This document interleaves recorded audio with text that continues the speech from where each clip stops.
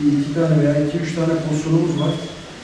Veya Volkan veya Erkan sağ taraftan veya e, e, Mehmet Akgüz doğru topları da sürüyor. Devamlı takılmalar, takılmalar dolayısıyla e, sıkıntı yaşadık. Ondan dolayı e, Liymezli'yle de aleyhimize olduğunu düşünüyorum.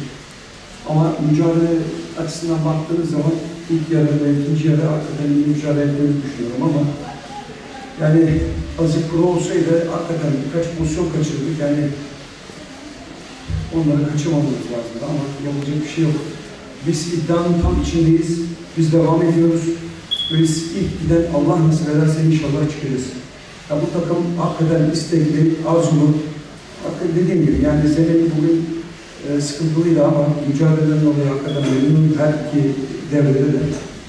İkinci yarı tamamen ablukaya almak isterken yani bir e, bireysel hata yaptık. Yani maçtan evvel söylediğim gibi riske girmeyin arkadaşlar. Şeye atın, geri pas atmayın.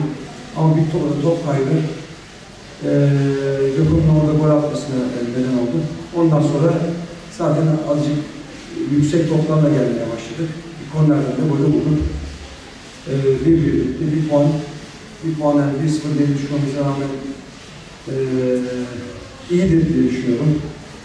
Ama dediğim gibi yani biz yolumuza devam ediyoruz. Hedefimiz ilk